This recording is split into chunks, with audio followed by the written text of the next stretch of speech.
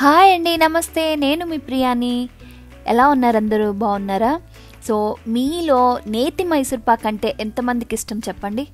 నాకైతే పిచ్చి పిచ్చి ఫేవరెట్.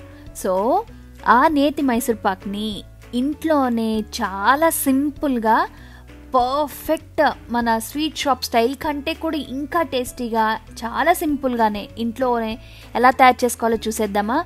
సో ఈ వీడియో మీరు ఒక్కసారి ఏమాత్రం స్కిప్ చేయకుండా ఫుల్గా నేను చెప్పే టిప్స్ అన్నీ ఫాలో అవ్వండి. చాలా అంటే చాలా పర్ఫెక్ట్గా చిటికలో నేను మైసూర్ పాక్ని ఎవరైనా ఈజీగా తయారు చేసేసుకోవచ్చు. సో ఎలా తయారు చేసుకోవాలో వీడియోలోకి వెళ్ళిపోదాం.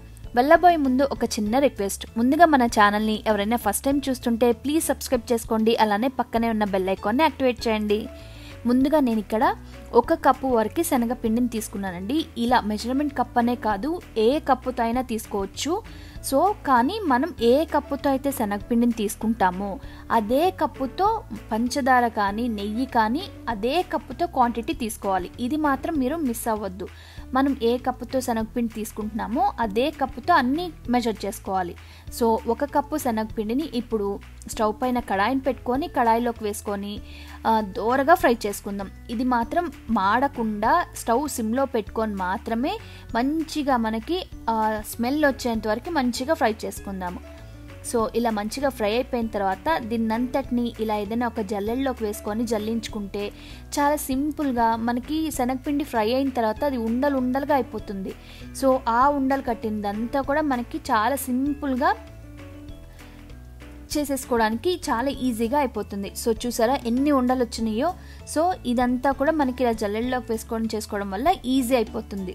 సో ఏ కప్పుతో అయితే మనం శనగపిండి తీసుకున్నామో అదే కప్పుతో ఒక కప్పు వరకు నేను ఇక్కడ నెయ్యిని తీసుకుంటున్నాను. అంత నెయ్యి వద్దనుకునే వాళ్ళు సగం నెయ్యి సగం నూనెనైనా వాడుకోవచ్చు. సో ఆ నెయ్యిని ఈ శనగపిండిలోకి హాఫ్ వరకు వేసుకొని శనగపిండి అంతటిని ఇలా మంచిగా కలిపేసుకుందాము.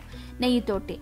సో మీరు సగం నెయ్యి సగం నూనె తీసుకునే వాళ్ళు ఇప్పుడు శనగపిండిలోకి ఆ సగం నూనెనైనా వేసుకొని కలుపుకోవచ్చు. కానీ నేతితో చేసుకుంటేనే టేస్ట్ అనేది పర్ఫెక్ట్గా ఉంటుంది. సో ఇంకా హాఫ్ నెయ్యి ఉండిపోయింది కదా అది పక్కన పెట్టేసుకుందాం. ఇప్పుడు స్టవ్ పైన ఒక మందపాటి కడాయిని పెట్టుకొని అందులోకి ఒక కప్పు వరకు పంచదారని.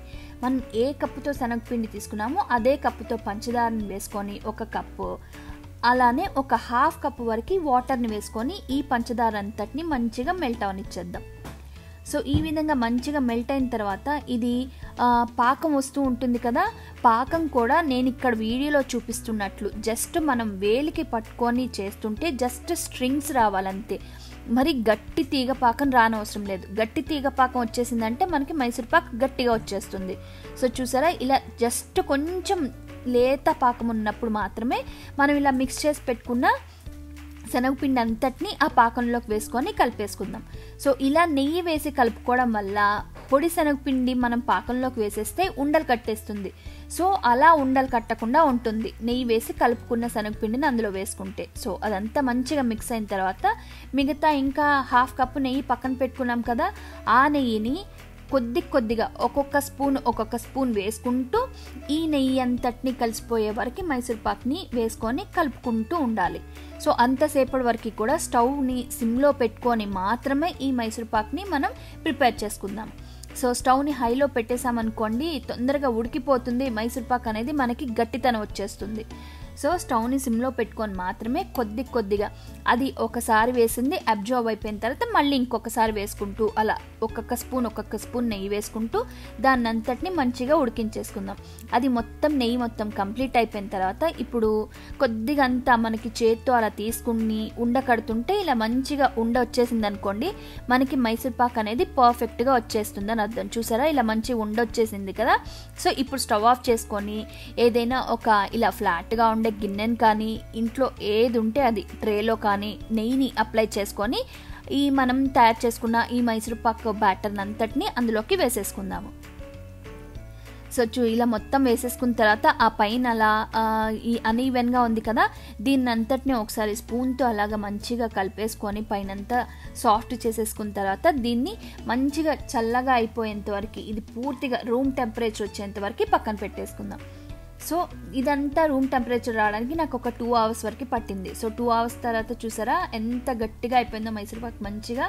సో ఇప్పుడు ఈ గిన్నె అంతటికి కొంచెం సైడ్స్ కొంచెం సపరేట్ చేసుకునేలాగా సపరేట్ చేసేసుకొని చాక్ తోటి దీన్ని ఏదైనా ఒక ప్లేట్లో కానీ ట్రేలో కానీ డిమాల్ చేసేసుకుందాం. సో ఈ విధంగా మంచిగా బోర్లింగ్ చేసుకుంటే మైసూర్ పాక్ అనేది మీకు చూస్తుంటేనే అర్థమవుతుంది కదా ఎంత సాఫ్ట్గా వచ్చిందో.